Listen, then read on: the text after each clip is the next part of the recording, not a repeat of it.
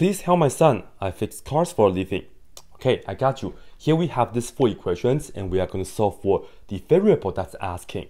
For the first one, we have 9x plus 2y is equal to 18 and we are going to solve for y. So have a look. Here is the y. We want to get this by itself and this is what you want to do. Let's get rid of the 9x first and to do so, we subtract 9x to both sides. This and that will cancel and then we will get this right here is 2y. Bring down the equal sign. This and that can be cannot be combined because the 18 does not have the x. So just write it down. And let's write down the negative 9x first and then plus 18.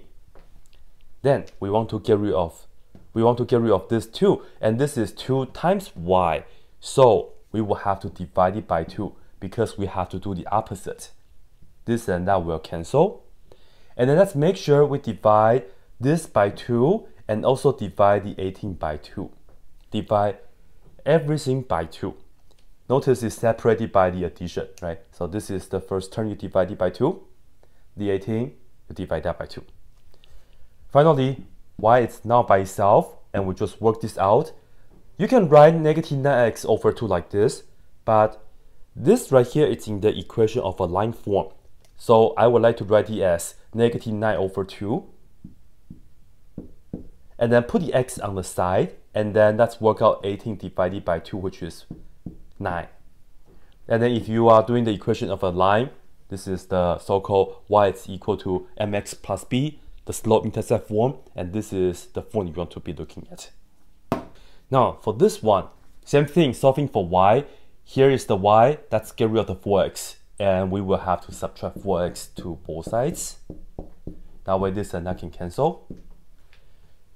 Keep in mind this is a minus y, so bring that down, and then this is equal to, this is negative 4x, and then that's a plus 3. Then we have to divide it by negative 1, because this is like negative 1 times y. So divide it by negative 1, so that will turn out to be a positive y. And just like what we did earlier, divide this by negative 1 and also divide this by negative 1. So work this out. Negative 4 divided by negative 1, negative divided by negative gives you positive, and that's going to be positive 4. Keep the x, and then 3 divided by negative 1, we get negative 3. And that's it. Now for number 3, we have L is equal to now for number 3, we have A is equal to L times W. And this is the area of a rectangle formula, length times width. And we are going to solve for Y. Okay, for number three, we have A is equal to L times W. Whenever there's no operations indicated in the middle, it means that we have a multiplication.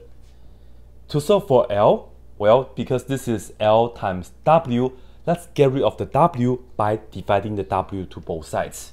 So that's your work. Divide this by w and do the same thing to the other side. This way, this and that can cancel. And let's write down the L first and we get A over W. And now do it. And in fact, this formula is the area of a rectangle formula. The area of a rectangle is length times width. Now for the fourth one.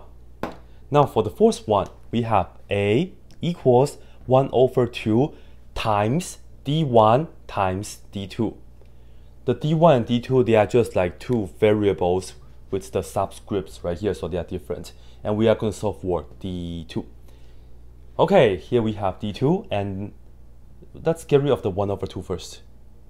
The over 2 is like 1 divided by 2, so we will have to multiply by 2 to both sides. So put the 2 times this and 2 times that. That way this and that can cancel. So we see 2a equals d1 times d2. The 1 times this, the 1 doesn't matter. Then to get rid of d1, so we can get d2 by itself, let's just divide both sides by d1. So this and that cancel. D2 now is by itself. Let me write it down right here. And that's equal to that. And that's it. we are done. All right, best of luck